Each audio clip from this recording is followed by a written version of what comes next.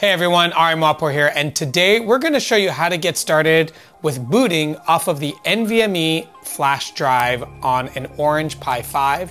This is very similar to the tutorial we looked at with the Raspberry Pi 5 hat, but instead this is all in one single package. You don't have to buy anything extra. All you need is your NVMe SSD drive. So grab your NVMe SSD drive, grab your Orange Pi 5, get everything up and running, and let's get started.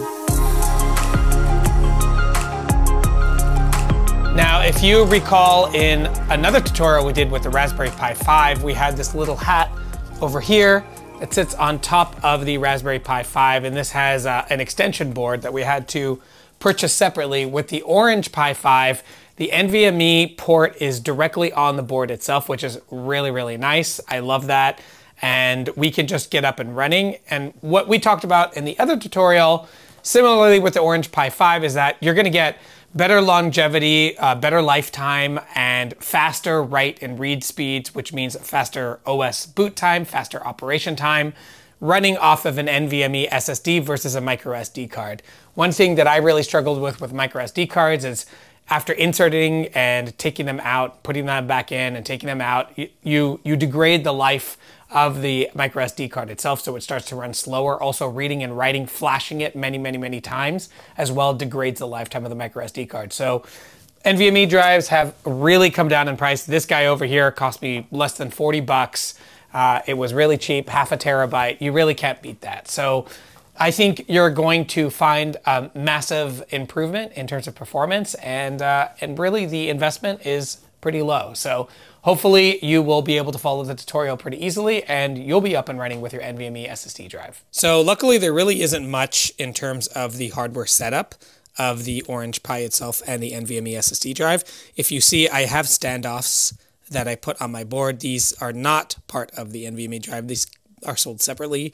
Um, this just gives me a little bit more flexibility in terms of where I can place it. I don't need to keep it on an ESD mat. I'm not don't need to be worried about the electronics, things like that. So um, it also allows me to you know take put in connectors, things like that, give it its own space to stand off on.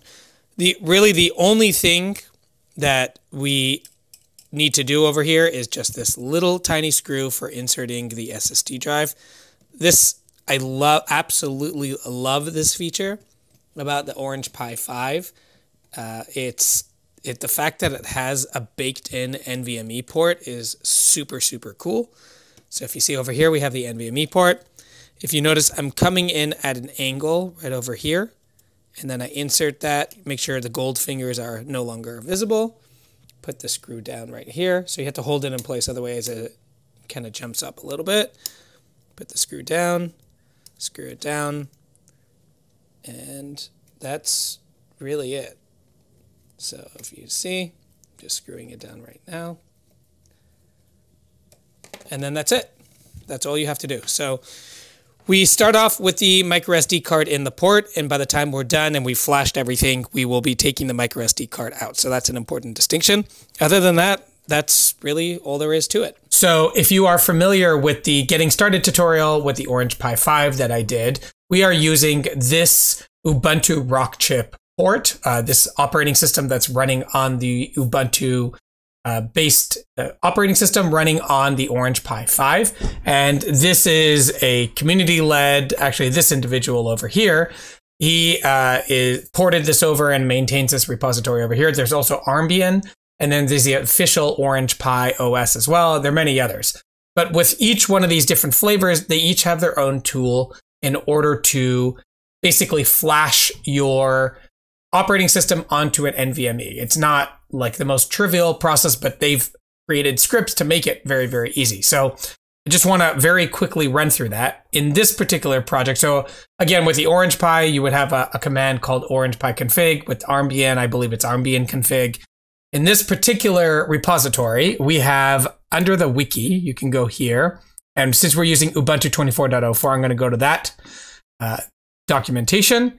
And then if you go down to install U-boot to the SPI flash, actually we're going to jump first to the install NVMe from Linux. So what we're doing is we are copying the currently running operating system that's on our micro SD card onto the NVMe drive. However, however, in order to boot from the NVMe drive, what you need to do is you need to flash the SPI, the SPI flash with U-boot. So you're basically giving instructions. So the default right now is that the Orange Pi and most of these devices, their default is to first flat, like read the micro SD card and then boot from the micro SD card.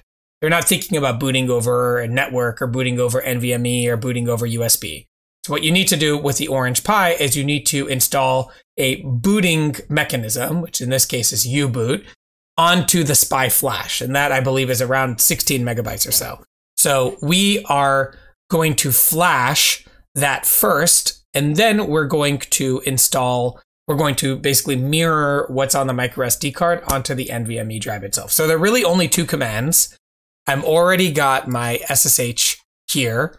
Uh, I'm SSH'd into my Orange Pi right now. So first of all, you can do an LSBLK, and this will tell you all of the different mounts that are on your device right now. So if you can see over here, I have my micro SD card, the MMC.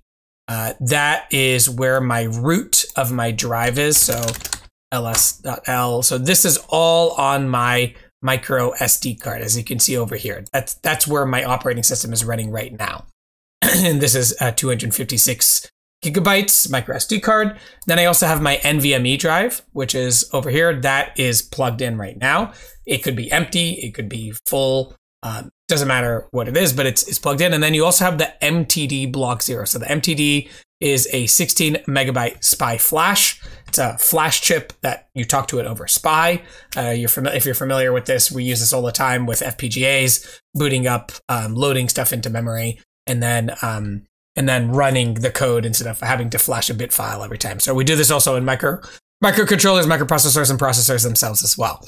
So we have all these different devices and all these different memory structures, and we are going to now flash the the NVMe drive and the the SPI flash with the U-boot. So first, what we want to do is we want to do U-boot install MTD.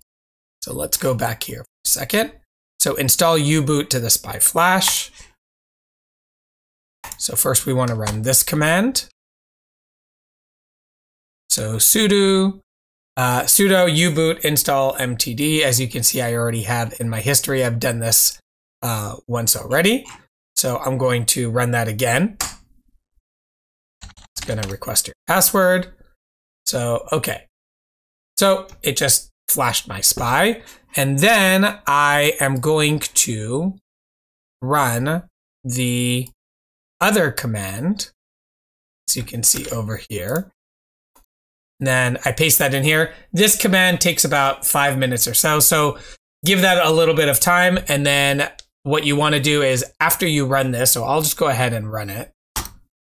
So it says this script will install currently running system. So what you have running right now on your micro SD card, uh, we're going to now install that on this path.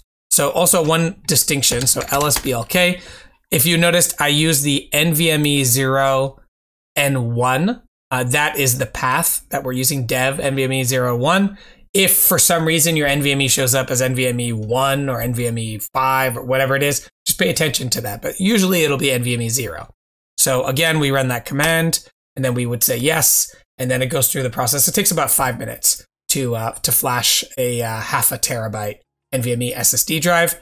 After that, we power down the device.